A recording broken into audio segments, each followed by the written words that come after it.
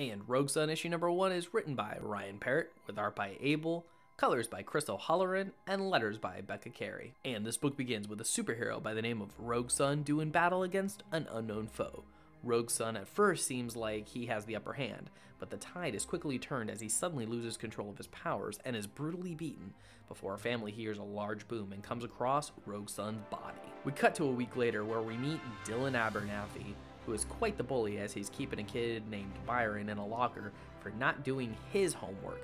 Eventually, he lets him out when we get a brief moment with Dylan's apparent love interest, of Vanessa Myers, who walks right past him, not saying a word. Later at Dylan's house, a man by the name of Cotton Simmons is there to tell Dylan's mother and him of his father, Marcus Bell's death of which Dylan seems satisfied with the news. They are invited to the reading of his will, and so, a few days later, Dylan and his mom show up at a giant mansion where the two meet Marcus's other family.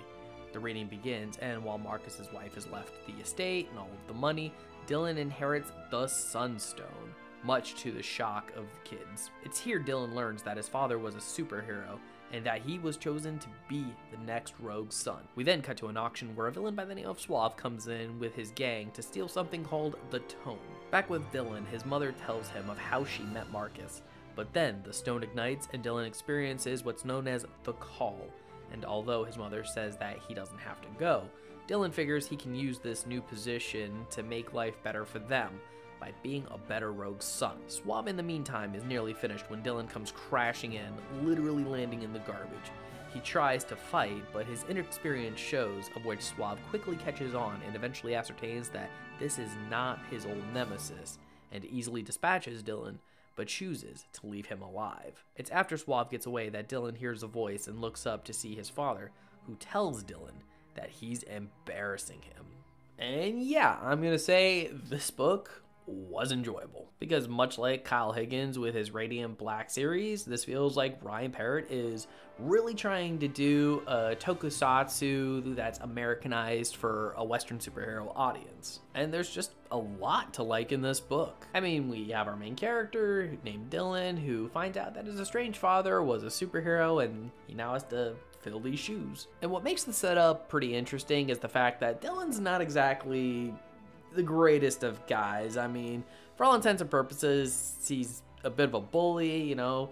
He locks up a kid in a locker for, you know, not doing his homework for him and stuff and just seems to have this really big chip on his shoulder and yeah, eh, you know, I admit there definitely are moments where I'm like maybe they take the whole like attitude thing with him a little too far, especially in scenes like where he finds out that his dad is dead and he does take some kind of pleasure it seems in the thought of maybe his dad died a very horrible, gruesome, painful death. And in some fashion sometimes makes this book feel like it could be the potential start of a supervillain story. But I think this might be potentially in service to the character as this means he starts from a very low point and has to really work his way to the top of being a superhero. And I do find myself latching onto the potential of who this character could be. As far as his first outing goes, I'm glad he butchered it, you know? I'm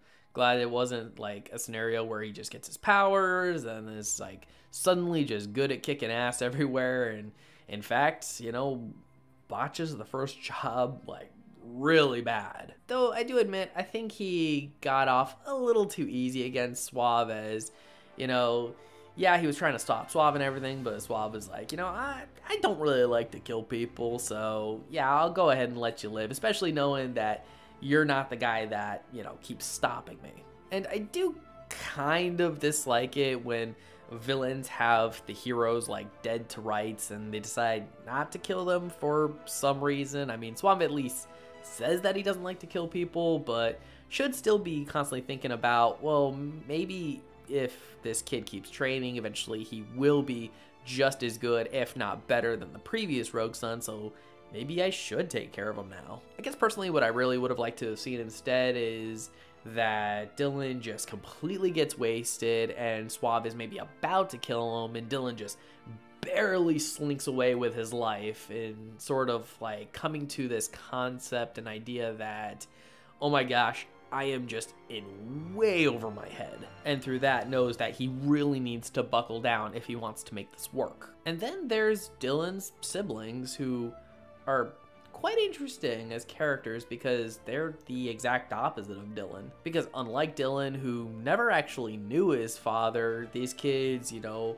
were raised by the guy, you know, grew up with him and stuff. Maybe not necessarily having love for him, because, you know, I didn't really see much to point towards that, but they definitely have a respect for what he did. And I really like their expressions when Dylan was given the Sunstone because, especially on the youngest, there definitely seems to be a look of not just disappointment and shock, but also potential betrayal. Because these kids may feel like, well, since Marcus stuck around and, you know, raised us and stuff, that we're owed the Sunstone. I mean, why give it to this kid that you obviously wanted nothing to do with? Which I think kind of adds a little bit of extra layers to the story too, because essentially we also have a kind of who done it sort of mystery going on with who killed Marcus. And in the back of my mind, I'm thinking, okay, this person knew his identity, knew exactly what his weakness was,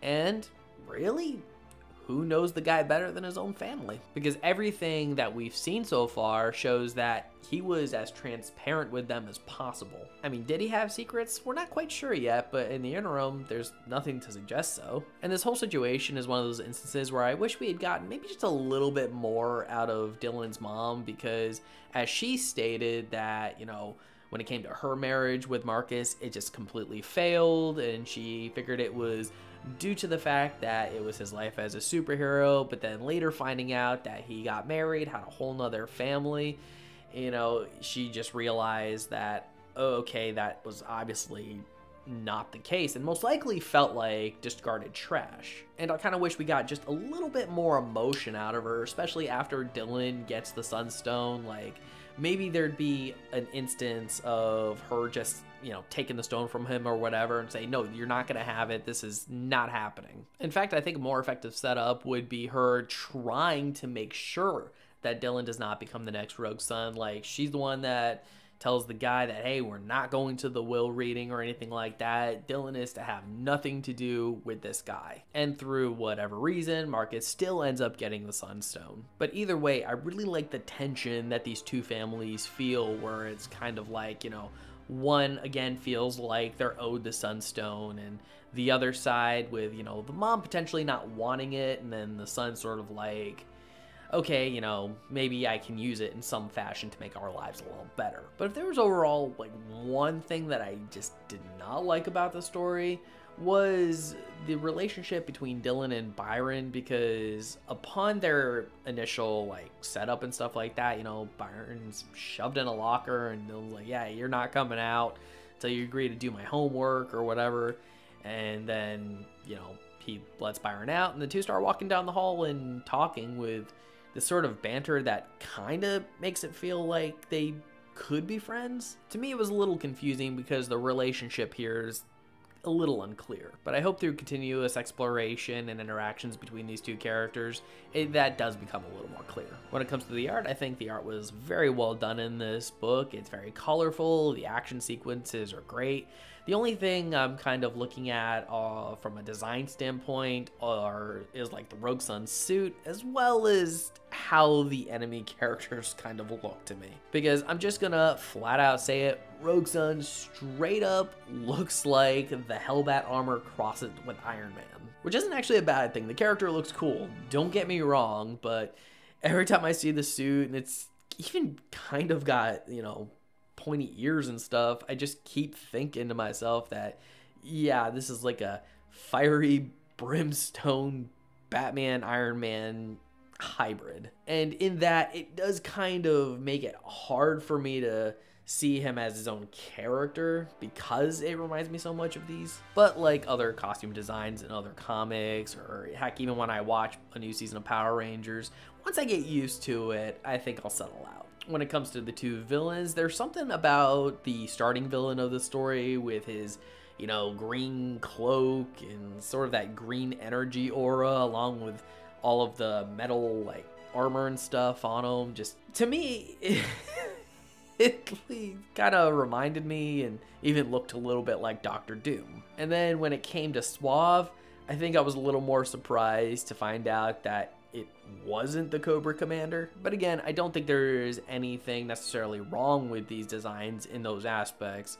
It's just my brain tends to trail off when I see things that remind me of other things. But overall, I do think this was a solid first issue. I want to know more about the stone and its origin. I want to see Dylan make a change for the better. I think this is going to be a fun series, and if you're a person who likes tokusatsu mashed up with American styled comics, I do think this is going to be the comic for you. And with that, I'm going to score Rogue Sun issue number one an 8.5 out of 10. So, Rogue Sun, issue number one. What did you think about this book if you've read it? I'd love to hear your thoughts. Please leave your comments in the comment section below. And if you like this video, I'd love it if you smash that like button, share it with some friends, subscribe if you're not subscribed already, and ring that notification bell for more comic book content. And if you're wondering what to watch next, consider one of these two videos. Alright, take care, have a great day, and as always, stay geeky.